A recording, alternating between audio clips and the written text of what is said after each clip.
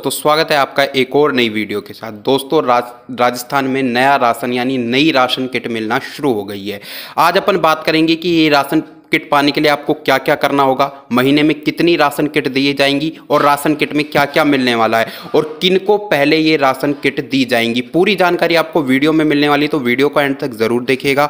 Channel पर पहली बार आए तो सब्सक्राइब करके बेल नोटिफिकेशन ऑन कर लीजिए, ताकि सरकार से जुड़ी हर अपडेट आपको मिलती रहे।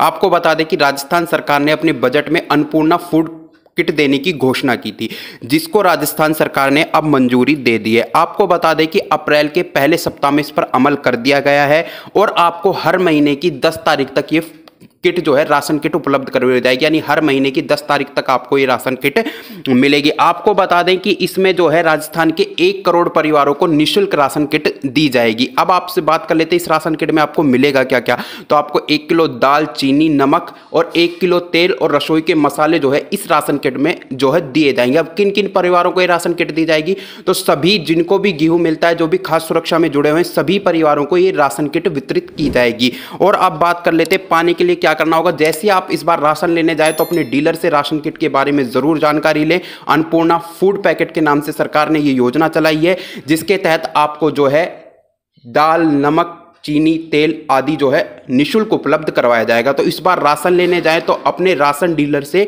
अन्नपूर्णा फ़ूड किट की चर्चा ज़रूर करें, क्योंकि राजस्थान सरकार अप्रैल में आपको अन्नपूर्णा फ़ूड किट देने वाली है, यानी नया राशन फ्री में देने वाली है।